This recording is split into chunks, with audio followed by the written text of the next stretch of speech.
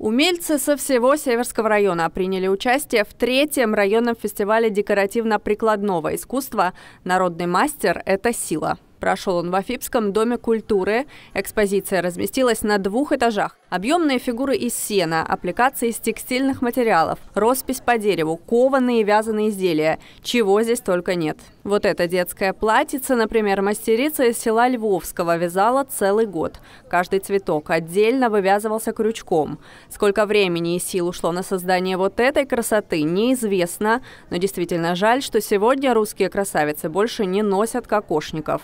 Это не просто фестиваль, но еще и конкурс. Выявить победителей среди мастеров в разных номинациях предстояло жюри, состоящим из преподавателей районных школ искусств. Развлекали честной народ артисты коллектива «Кубанцы» Смоленского поселения.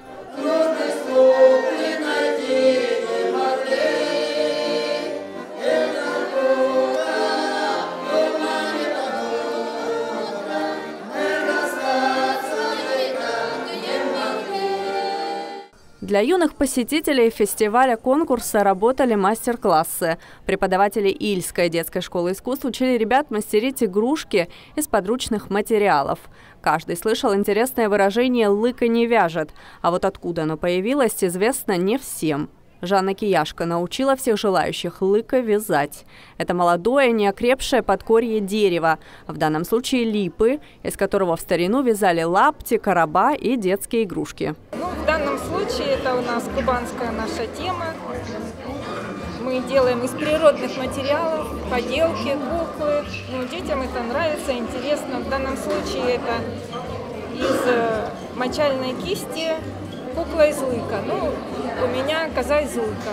С рогами, с бородой и с рожками.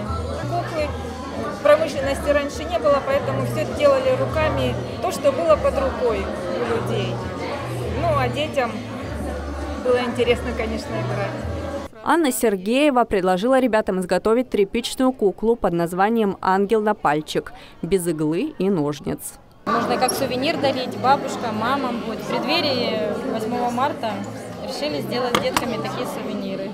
Начальник управления культуры Северского района Галина Куролесина отметила неподдельный интерес ребят к изделиям народно-прикладного творчества. Нам это очень отрадно. Я надеюсь, что все, кто сегодня пришел сюда, обязательно чему-то научатся, узнают о новых промыслах, Своей работой на фестиваль привез ильчанин Артем Заремба. Уже много лет мужчина занимается резьбой по дереву.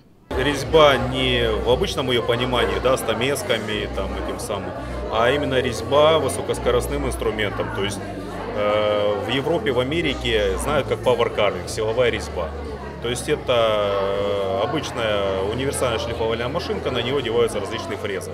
Основной род деятельности Артема к дереву не имеет никакого отношения. Однако любимому хобби уделяет много времени. Причем материал для изделия он находит в самых разных местах. Это вот все, что выбрасывается, спиливается на территории Краснодарского края, ну в основном Северского района. Просто подбираются подходящие? Просто подбирают, да, это вот в школах, я говорю, вот э, в 16 школе после карантина обрезали э, вязы, да, успел взять пни.